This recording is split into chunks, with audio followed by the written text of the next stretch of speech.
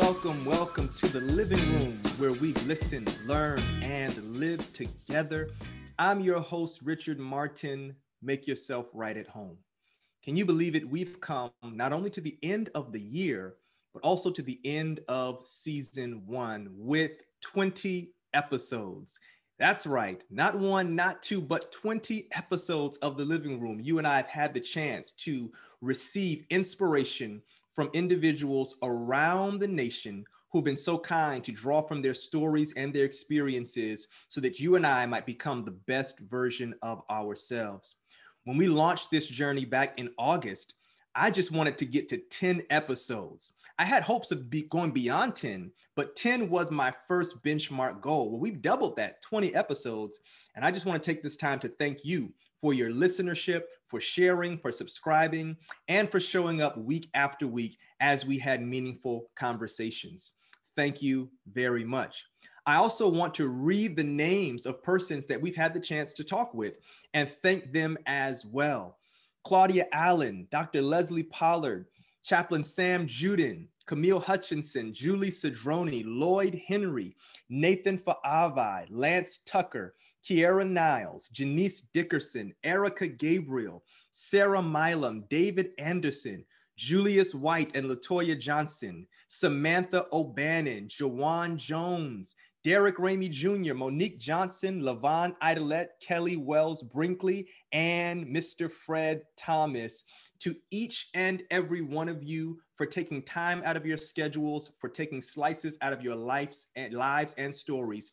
We thank you. Our lives are better because of you. For those persons who might be wondering, well, why the living room? What does it mean? Normally, people would have an episode 000 before they even launch to give you answers to that. We took a different approach. We wanted to launch, launch out into the deep. And here we'll end season one by letting you know why the living room? What does it mean? Of course, by now you know in the living room we listen and learn. And that's our philosophy that listening and learning can positively impact living. I do believe that you can relate to this We've had conversations before in our lives, at the end of which we've said, Man, I wish that was recorded. There was a lesson that was shared, a gem or jewel that was dropped, some wisdom that was exchanged. But as conversations go after it's done, it's often difficult to go back and gather all that was shared. But here in the living room, which for me is one of the safest spaces for genuine dialogue, we've had the chance to catalog conversations that you and your friends and your family members can go back and learn from for years to come. I'm excited for season two. We've already begun cataloging recordings. We're going to get into the editing process and launch them at the start of the new year.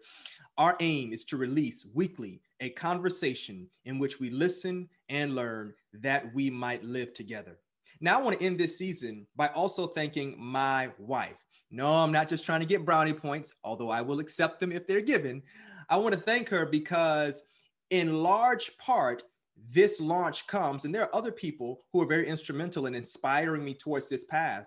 But the last gentle and loving and helpful nudge came from my wife. I won't go into the weeds of the conversation, but suffice it to say, I had shared the idea with her here and there, adding another detail to the idea. But then it came a point where she asked me, Hey, man, when are we going to transition from idea to implementation? You need people in your life who asks you those questions, and I do as well. So thank you, baby girl, for the nudge and the admonition. We are here. We've done it. The end of season one.